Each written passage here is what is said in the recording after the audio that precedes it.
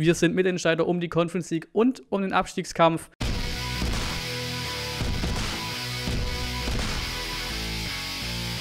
Und dann Moinsen zum letzten Vorbericht für diese Saison. Letzter Spieltag, Heimspiel gegen Arminia Bielefeld. Ja, an diesem letzten Spieltag geht es so ein bisschen um das Sahnehäubchen bei uns und bei Bielefeld um alles, ne? Aber wir sind gemeinsam aufgestiegen. Bielefeld damals als erster 10 Punkte vor uns. Wir hatten 58 auf Platz 2 damals ja, wie gesagt, Konferenz, es geht um alles am Samstag, alle Spiele gleichzeitig. Das hat diesen, ja, diesen parallelen Charme einfach. Wird ein sehr, sehr geiles Stream, glaube ich, ein sehr geiler Spieltag wieder. Ähm, wir, wie gesagt, noch Möglichkeit auf Platz 7, wenn der Rest eben für uns spielt quasi und wir natürlich auch unseren Job erledigen. Bielefeld steht auf der besten Position im Abstiegskampf, muss aber auch liefern. Da unten ist noch alles möglich bei den drei Clubs. Direkter Abstieg, Relegation, direkter Klassenhalt alles noch drin da unten. Problematik bei Bielefeld ist vor allem im Angriff. Ähm, immerhin haben sie jetzt nicht, ja, die riesengroßen Ausfälle. Da gerne nochmal das Video abchecken mit dem Arminien-Tuber, das gestern online ging bei mir und bei ihm. Da hat man noch ein bisschen mehr Infos zum Spiel als jetzt hier noch. Natürlich auch von jemandem, der Bielefeld-Fan ist. Ähm, ja, letzte fünf Bundesligaspiele. Wir brauchen jetzt kein Aus, keine Ausschau mehr machen auf die nächsten Spiele. Wir gehen mal zurück auf die letzten fünf. Ein Unentschieden gegen Augsburg, ein Sieg gegen Schalke, Gladbach-Niederlage, Hertha Unentschieden und Hoffenheim Unentschieden. Das betrifft Bielefeld. Und bei uns ähm, Union-Niederlage, Wolfsburg-Niederlage, Leipzig-Niederlage und jetzt zuletzt zwei Siege, Augsburg und jetzt der letzte Auswärtserfolg in Gladbach. Das letzte direkte Duell war das 0 zu 3 äh, ja, bei Bielefeld auf der Alm haben wir schön drauf bekommen. Wichtiger Sieg für sie am Ende des Tages vielleicht, wenn es der dann helfen sollte für einen Klassenerhalt möglicherweise. Ähm, sonst, wir schauen ja nur auf die Heimspiele, weil es ein Heimspiel ist, das ansteht, haben wir eine sehr gute Statistik, was die Heimspiele gegen Bielefeld angeht. Letzte Niederlage war im Jahr 1982.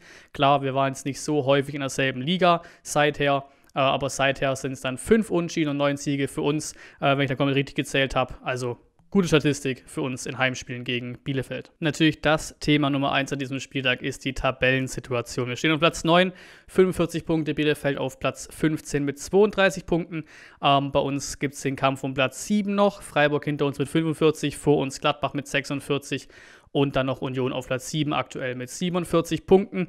Ähm, bei Bielefeld geht es, wie gesagt, um Abstieg, Abstiegskampf. Ähm, dort steht Köln mit 30 Punkten da, Bremen mit 31 und dann, wie gesagt, Bielefeld mit 32 auf Platz 15. Wir schauen dabei auf Frankfurt gegen Freiburg natürlich für die Freiburger.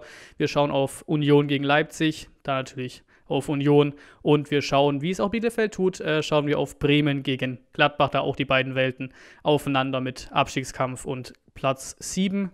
Ähm, Bielefeld schaut, wie gesagt, auch auf Bremen gegen Gladbach, logisch. Und die schauen noch auf Köln gegen Schalke. Und die Konkurrenten von Bielefeld schauen natürlich auch auf, auf unser Spiel, ne? VfB gegen Bielefeld. Ähm, wenn wir Platz 7 wollen, müssen wir zu Hause gewinnen. Und der Rest muss, ja, dementsprechend patzen und eben nicht unbedingt dreifach punkten. Bielefeld ist durch, wenn sie bei uns gewinnen, eben durch die Ausgangslage.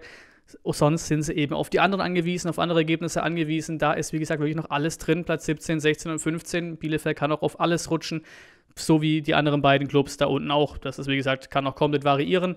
Ähm, es gibt tatsächlich auch, was natürlich ein Traum wäre, die Konstellation, dass wir Siebter werden ähm, und Bielefeld trotzdem auch gleichzeitig direkt drin bleibt. Die Konstellation gibt es auch. Ähm, wir sind dazu noch Zwölfter in der Heimtabelle, Bielefeld 17. in der Auswärtstabelle. Kommen wir zum Startelf-Tipp und da ich das hier ja schon Donnerstagnachmittag aufnehme, also quasi kurz vorm Upload aufnehmen, doof gesagt, ähm, ist auch die PK auch diesmal mit drin. Abwehr bleibt so, Mafropan ist tatsächlich auch eine Option. Ähm, Tipp aber doch eher noch drauf, weil es schon ein bisschen überraschend wäre, wenn er es packt. Aber PK sagt, es ist eine, ist eine Option.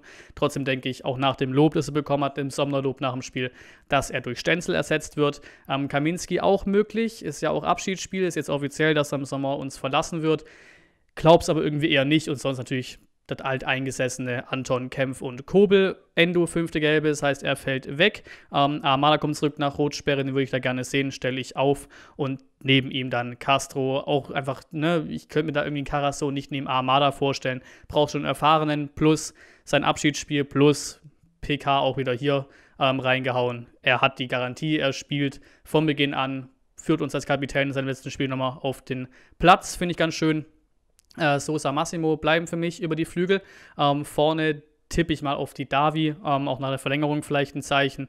Ähm, Förster und Galeitisch bleiben auch in der Startelf. Ähm, eine mögliche Gonzales-Rückkehr wird leider nichts. Ähm, da sind sie noch vorsichtig, ist auch in Ordnung, aber den, der wird es nicht mal in den Kader schaffen, leider. Und eben deswegen, weil ich die Davi reinsetze, ähm, ja, Klimovic wieder nicht dabei, verletzungsbedingt.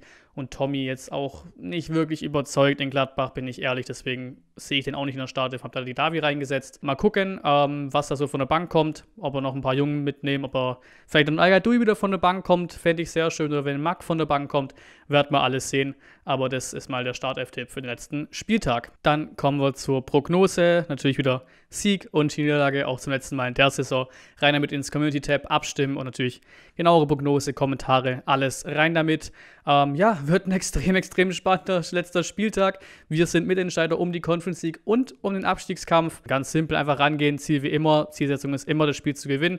So gehst du da auch ran. So kam es rüber in der Pressekonferenz. So gehst du da ran.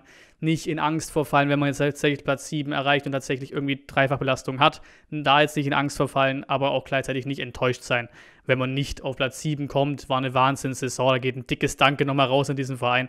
Also top Top-Top-Saison nach, nach Aufstieg. Und natürlich jetzt noch hier neben mir Prognose vom gesamten Spieltag. Sicherlich auch ein bisschen so getippt, wie ich es mir wünschen würde, weil wir, glaube ich, mit den Tipps auf Platz 7 kommen würden. Ähm, aber gut, ich glaube, meine Tipps haben bisher noch nicht so viel abgeräumt. Deswegen hier mein gesamter Spieltag. Und dann war es das mit dem letzten Vorbericht für diese Saison. Freuen uns alle auf den Stream, auf den Spieltag am Samstag, seid ihr am Start. Sonst vielen Dank fürs Zuschauen und bis zum nächsten Mal.